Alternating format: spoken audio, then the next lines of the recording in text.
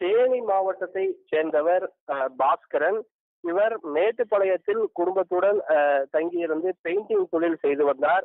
இந்த நிலையில் கடந்த இரண்டாயிரத்தி இருபத்தி இரண்டாம் ஆண்டு இருபத்தி நான்காம் தேதி அஹ், நான்காவது மாதத்தில் வேலை நிமித்தமாக மேட்டுப்பாளையத்திலிருந்து அன்னூர் செல்லக்கூடிய சாலையில் குமரன்குன்று பகுதி அருகே சென்றபோது அவர் மீது இருசக்கர வாகனத்தில் சென்று கொண்டிருந்த போது அவர் மீது எதிரே வந்த அரசு பேருந்து ஒன்று மோதிய விபத்தில் பாஸ்கரன் மற்றும் அவரது நண்பர் மகேஷ்குமார் என்ற இருவரும் அஹ், சம்பவ இடத்திலேயே உயிரிழந்துள்ளனர்.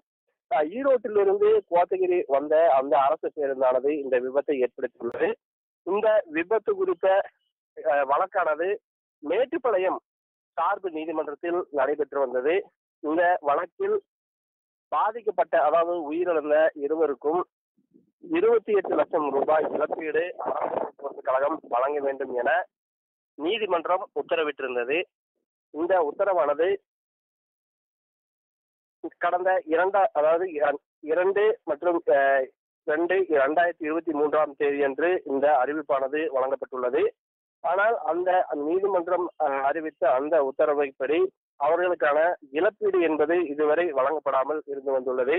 இதனையடுத்து பாதிக்கப்பட்ட குடும்பத்தைச் சேர்ந்தவர்கள் அது குறித்து மீண்டும் நீதிமன்றத்தில் முறையிட்டதைத் தொடர்ந்து நீதிபதி அவர்களின் உத்தரவின் பேரில் இழப்பீடு வழங்காத காரணத்துக்காக மூன்று அரசு பேருந்துகள் தற்போது ரத்து செய்யப்பட்டுள்ளது.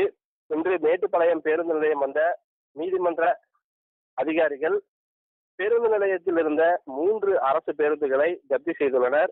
இருபத்தி எட்டு லட்சம் ரூபாய் இழப்பீடு வழங்காத காரணத்துக்காக இந்த மூன்று அரசு பேருந்துகளும் ஜப்தி செய்யப்படுவதாக கூறப்படுகிறது. மேலும் அதற்காக ஜப்தி செய்யப்பட்ட அரசு பேருந்துகளில் அதற்கான நோட்டீஸை நீதிமன்றத்திலிருந்து வரக்கூடிய வந்திருந்த அதிகாரிகள் அந்த நோட்டீஸை அதில் ஒட்ட வைத்து தற்போது நீதிமன்ற வளாகத்துக்கு அந்த மூன்று அரசு பேருந்துகளையும் எடுத்து சென்றுள்ளனர்.